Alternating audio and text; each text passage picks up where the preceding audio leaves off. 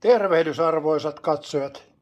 Tässä on iltapäivä kahvia varten haettu hieman käpykakkuleivosta ja sitten tuommoista kermaista kampaviineriä. Eli tota, ai ai ai ai ai ai. Nyt vaan sit korttaado kahvia ja, ja tota, kakku ja viineri naamaa. Ja tämmöisiä herkkuja sitä välillä, ettei pääse paino liikaa putoamaan. Ai ai ai ai ja nam ja maiskis.